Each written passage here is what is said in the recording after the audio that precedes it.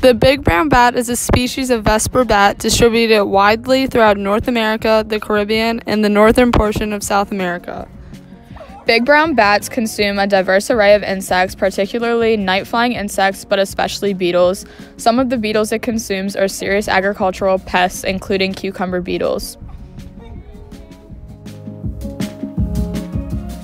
The reason that we are making these bat houses is because the big brown bats are endangered and we are trying to protect them because they support the environment. These are the materials that we started out with paint, paintbrushes, and gems. First, we put all of the pieces together without nailing them in order to see what the bat house would turn out to look like. After we laid out the pieces, we nailed them together. This is a video of us putting our first nail in. This next clip is us continuing to nail the bat house together. After this, we finished the first side of the bat house and moved on to the second side.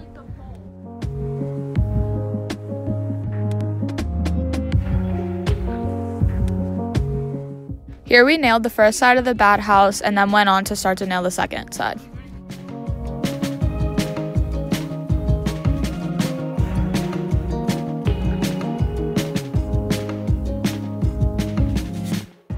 So we painted it green and then changed the color. This next clip is us painting the bat house brown.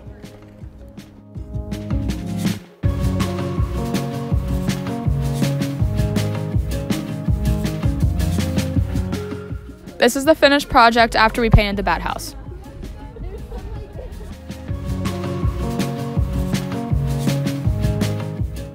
After we finished painting, we nailed the roof onto the top of the bat house.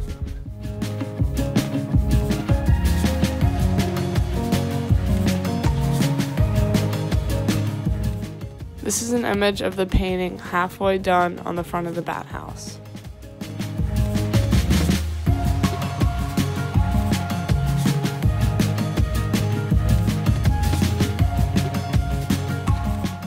Video of the finished building and painting of the bat house.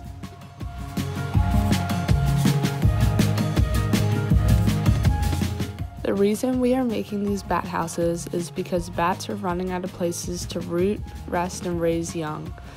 Places that they are using now, such as caves and houses and attics, are not always the safest option. We are protecting the big brown bats because studies show that they consume a significant amount of forest and crop pests.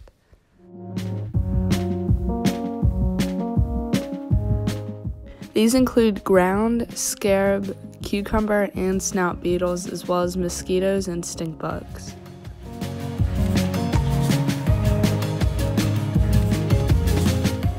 This is a diagram of all the unsafe places bats can get in your house. This is why it is much safer and healthier for the environment for them to be in their own bat houses.